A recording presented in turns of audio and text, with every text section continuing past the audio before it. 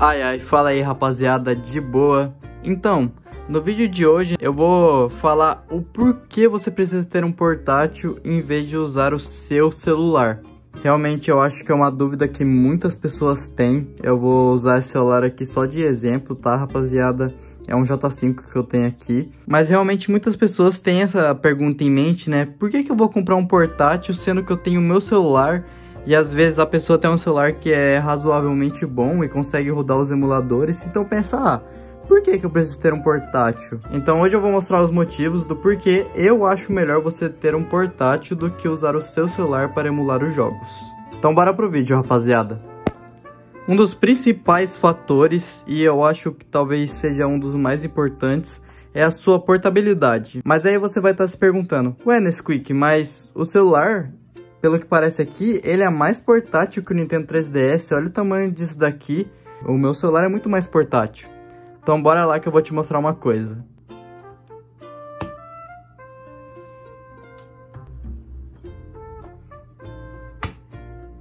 Rapaziada, olha o trambolhão que isso daqui ficou. Eu tô dando os exemplos caso você queira usar um controle, rapaziada, porque a experiência de você jogar com o controle, obviamente, é muito melhor do que você jogar no touch. Jogar no touch é tipo, eu pelo menos acho muito ruim. Então olha agora a diferença de portabilidade entre um e outro. Qual você acha que é mais portátil agora, rapaziada? Aquela hora eu deixei o 3DS aberto, mas ele fecha. Então olha o tamanho que o console fica. E com o seu celular, provavelmente você vai querer usar um controle. E olha o trambolhão que isso daqui fica, rapaziada. Realmente um dos pontos negativos que eu acho do celular, de, de você usar o celular para emular os jogos, é que você vai precisar de um controle e o controle é um trambolho. Segundo, rapaziada, seu celular é para uso pessoal, então quando você estiver jogando, provavelmente vai vir notificações de WhatsApp, às vezes você vai precisar responder e tem vários outros fatores de você usar um celular pessoal para jogar, porque é muito melhor você usar um console separado para jogar e quando você precisar usar o seu celular, você vai conseguir usar ele tranquilo, sem precisar sair do jogo, sabe? O seu jogo vai estar tá aqui, é só você fechar, deixar ele em modo de descanso e quando você abrir de novo, vai estar tá no jogo. Uma coisa muito importante também, rapaziada, é a experiência do console. Então vamos lá. Vamos supor que o seu celular ele roda emulador de Nintendo 3DS. Mas o seu celular, ele tem duas telas? Definitivamente não, rapaziada. E assim, eu tenho que ser claro com vocês. Eu já joguei lá antigamente emulador de Nintendo DS no celular e eu também tenho o Nintendo DS aqui.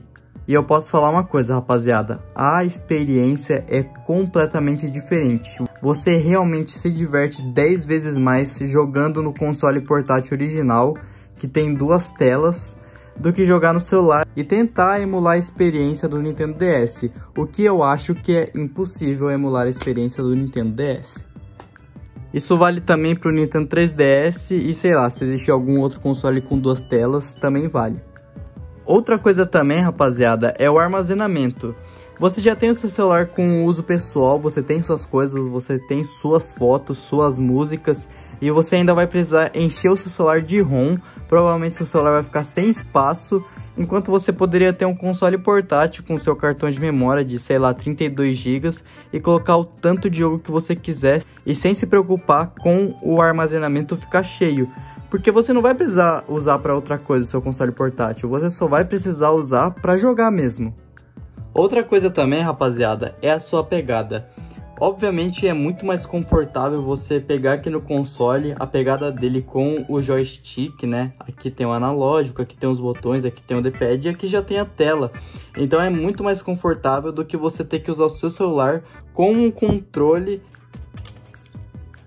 como vocês conseguem ver aqui, a pegada fica toda estranha, não sei como pegar direito no, no celular. Obviamente tem outros controles, mas eu acho que vale para a mesma coisa. Eu acho que eles não são perfeitos em questão de pegada. E se você quiser pegar um controle mais caro, que tem uma pegada melhor, aí você vai pagar mais de 300 reais no controle e que daí valeria mais a pena você comprar o próprio console. sendo que eu pelo menos paguei 480 reais nesse Nintendo 3DS, então não fica muito mais caro do que um controle de 300 reais, e já veio com o jogo original. Então esse também é um dos motivos, rapaziada. O controle que você vai pegar, dependendo do valor que você quer pagar, às vezes não fica muito bom a pegada, sabe? Fica meio trambolhão e meio estranho de segurar. Você não sabe onde segurar, se é na frente, se é atrás, onde que a tela fica, sabe? Então realmente é meio estranho isso daqui. Agora falando só do 3DS mesmo, uma das coisas que o 3DS tem, obviamente, é o 3D. E rapaziada, muita gente realmente não gosta do 3D do 3DS, mas eu acho que é uma experiência que todo mundo precisa ter pelo menos uma vez na vida, porque é muito divertido quando você realmente percebe que a tela está em 3D. E obviamente, o trambolhão do seu celular com seu controle não tem uma tela 3D sem óculos, então não vai dar para fazer isso. Agora falando mais para quem é colecionador, Rapaziada, você que gosta de colecionar console portátil e essas coisas assim, você sabe o quão legal é ter mídias físicas. Rapaziada, tipo, é realmente muito legal ter mídia física, poder colecionar. Se você tivesse um celular, por que, que você ia comprar um jogo só pra deixar lá na estante, sendo que você não poderia usar no seu console de verdade? Então realmente isso daqui é um ponto, mais pra quem quer colecionar, mas é um ponto também. E rapaziada, não me entendam mal, se você não tem muita condição de comprar um console portátil, fica no celular mesmo. Eu mesmo já joguei emulador de Nintendo DS, tenho aqui o meu emulador de PSP, porque eu ainda não tenho um PSP, e realmente dá para se divertir muito. Mas eu tô mais falando para as pessoas que estão pensando se pegam um console portátil ou não, ou se fica com o seu celular, sabe? Nessa ocasião, se você tem o dinheiro e tá pensando se fica com o seu celular ou se compra o console portátil, eu realmente recomendo você a pegar o console portátil porque é bem melhor. Como eu já falei, rapaziada, eu tenho os meus três consoles portáteis aqui e todos são de duas telas. Então, obviamente, se eu fosse usar o meu celular, não seria nada igual jogar nos DS ou no 3DS, porque eles realmente são consoles de duas telas. E aqui não tem duas telas, rapaziada. E outra coisa também, são duas telas, sendo que a de baixo é touch e a de cima é só um visor. Então não daria para emular essa experiência, rapaziada. Realmente não dá. Porque dá para falar também que além do celular não ter duas telas, ele também não tem os controles embutidos. Tudo isso faz o seu console portátil ser uma experiência única que você só consegue ter tendo ele, sabe?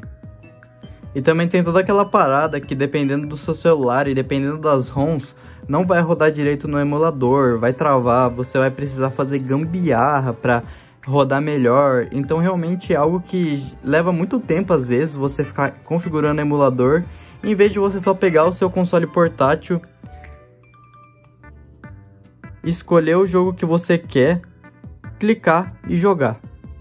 Realmente é uma mão na roda, rapaziada. Você só precisar do seu console portátil, escolher qualquer jogo e jogar. Sem precisar configurar nada, sem precisar ter dor de cabeça, vendo resolução que você precisa ou skipar frames, coisas assim que os emuladores têm, que realmente é muito chato de você ver.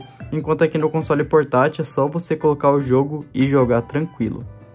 Então, na minha visão, rapaziada, é sempre bom você ter um console portátil, tanto por conta do seu uso pessoal, quanto outras coisas que eu falei aqui. E falando do 3DS de novo, se eu não me engano, para você ter um celular que rode Nintendo 3DS bem, você vai pagar tipo uns 1.500 reais pra cima para rodar todos os jogos do Nintendo 3DS liso, sabe? Se você não tiver um celular com a potência certa, os jogos vão rodar travando e vai ser uma dor de cabeça ter que configurar toda vez para você jogar os jogos. Mas então eu acho que é isso, rapaziada. Era isso que eu tinha para dizer. Lembrando de novo, não tem problema também jogar no celular, se você não tem condições de comprar um console portátil, eu acho super válido você jogar no celular.